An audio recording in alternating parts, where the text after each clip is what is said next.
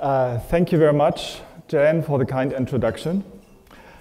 Um, and um, good afternoon, everyone, and bon appetit. Um, to be honest, when we uh, decided or planned uh, as Vistec to present at this uh, luncheon, we have not been aware of the 15th anniversary. All the more, uh, I'm happy uh, to have the honor to present as a founding member. And moreover, as uh, Jen already uh, mentioned, uh, to a, a, technology which has been under discussion at the start of the e-beam technology and survived up to now, so to speak, namely cell projection. And uh, I want to tell you uh, what are new applications for this uh, quite mature uh, technologies. So let me start. Um, this is uh, this uh, cell projection is a very early uh, technology in the history of variable shape beam. Uh, this is uh, from a publication from IBM from um, 1979 by Hans Pfeiffer. It was integrated already in the EL1 of shape beam systems at IBM.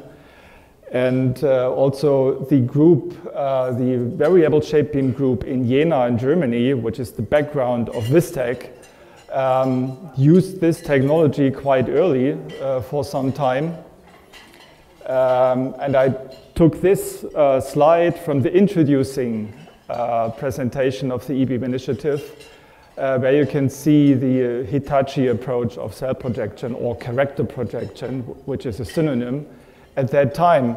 And as promised, I want to show you some new applications and how this technology is used uh, nowadays. I have to start with variable shape beam.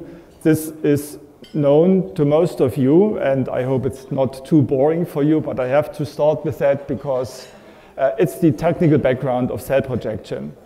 So as you see, um,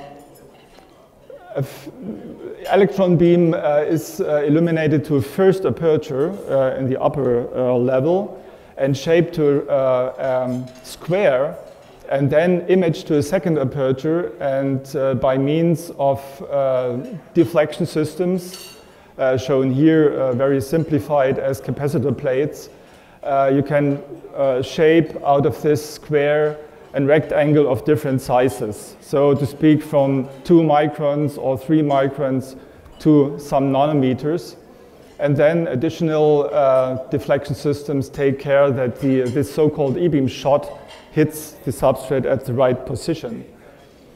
And uh, the typical uh, variable shape beam writing process then looks like this.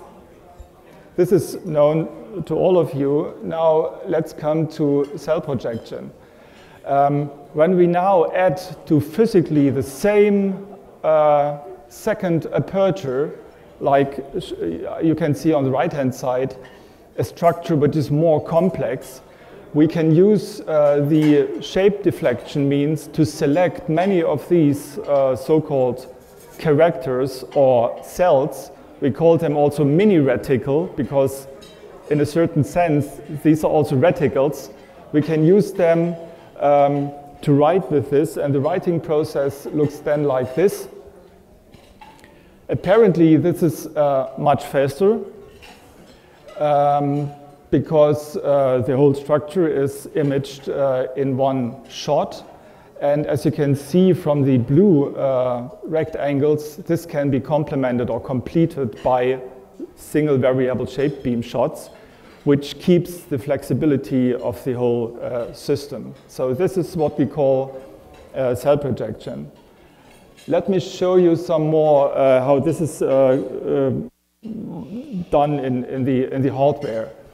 Um, cell projection is integrated in uh, all Vistec platforms. We have two platforms, one the SB250 for wafers up to 200 millimeter and masks up to 7 inch, and uh, the SB3050 for wafers up to 300 millimeter and 9 inch masks.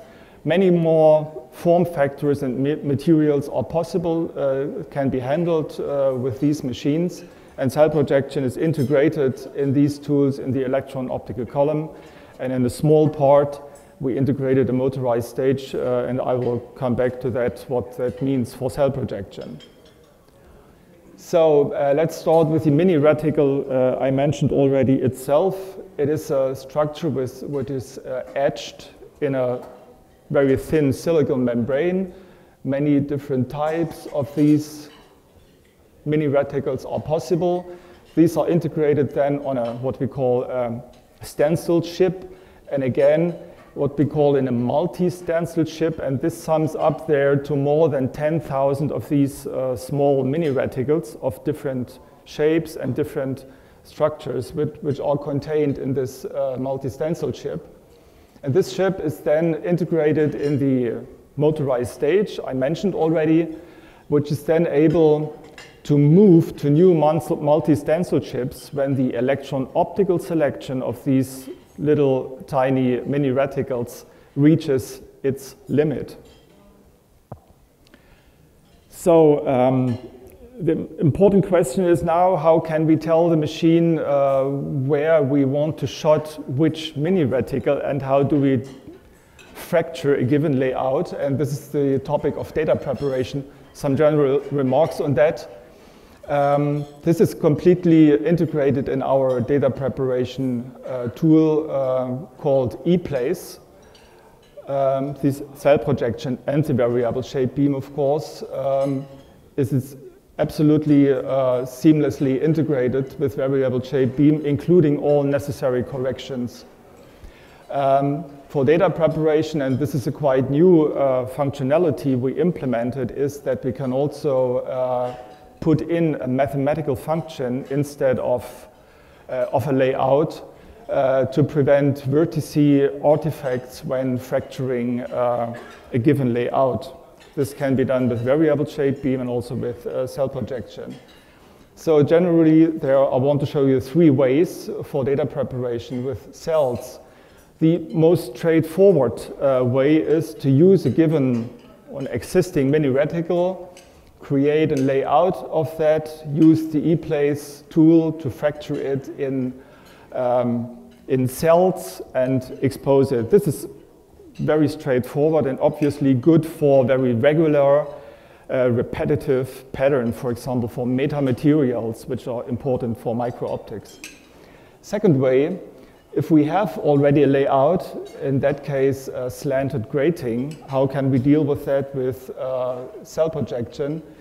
We can use so-called marking boxes, and with the help of these marking boxes, uh, the data preparation system uh, finds appropriate cells in the mini reticle library and fractures to a data to a cell projection part uh, marked here in yellow, and there is uh, some left area where we use uh, single variable shape beam shots uh, marked here in green. So this is the second way. And the third way is for arbitrary patterns, we can use a toolbox to find out are there appropriate mini reticles which, uh, which fit this arbitrary layout, or we fabricate a new um, mini reticle uh, etched into the silicon. Also integrated in the data preparation uh, tool is uh, that we can continuously tune uh, the CDs uh, by dose.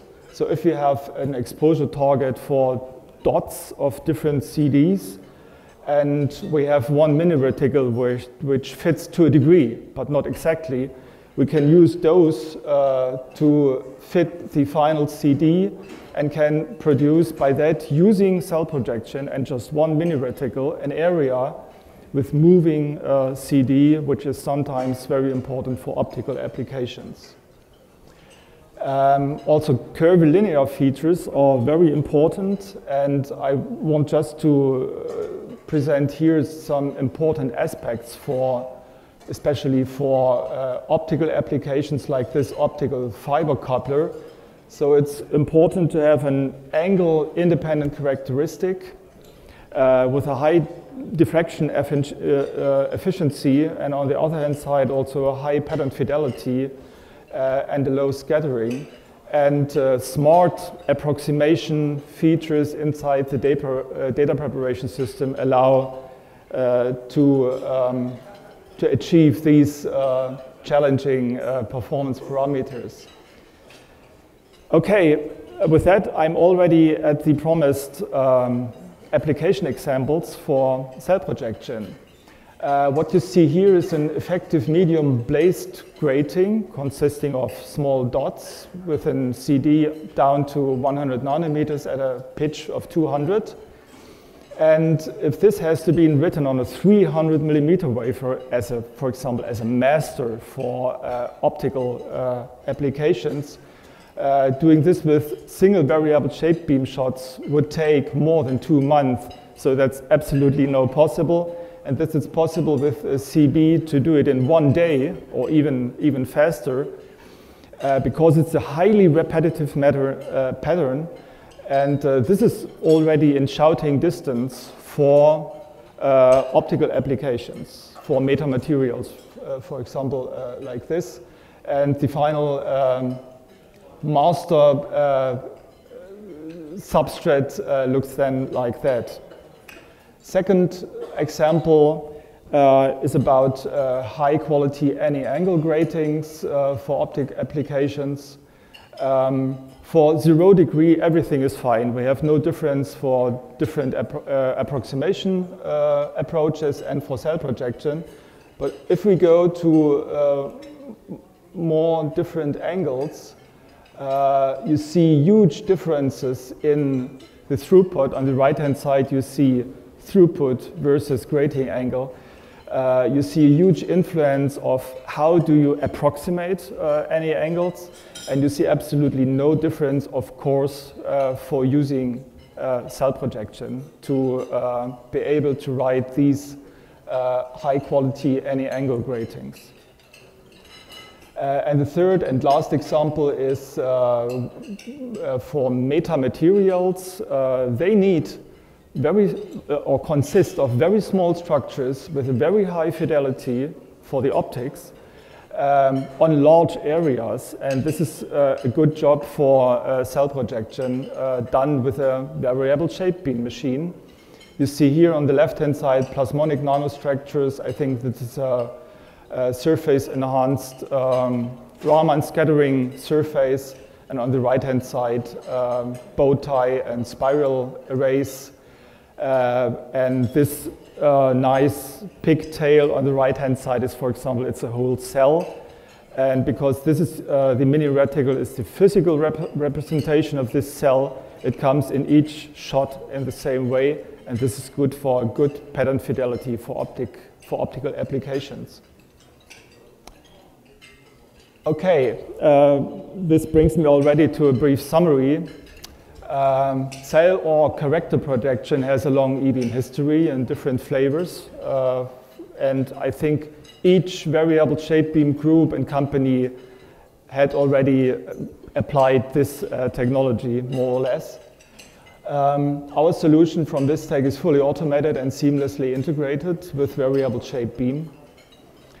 Uh, there is sophisticated and proven hard-end software available. I told you already more than 10,000 mini reticles and appropriate data prep tools. Um, and what is important to mention is that cell projection increases throughput, as you have been seen, but as well uh, pattern fidelity. So it's not only about throughput, it's also about pattern fidelity. And especially in optics and photonics uh, mastering application, you see uh, much better quality uh, measuring these masterpieces by with your optical sensor. You see a huge difference between variable shape beam and cell projection. Okay, that, that's it already. Thank you very much for your attention. Thank you. I also want to thank the whole VISTEC team for its contributions uh, to this technology. And of course, I want to thank the eBeam initiative for meanwhile 15 years uh, support to our community for education, networking, uh, and all what Jen already explained. Thank you very much, eBeam Initiative, and thank you for your attention.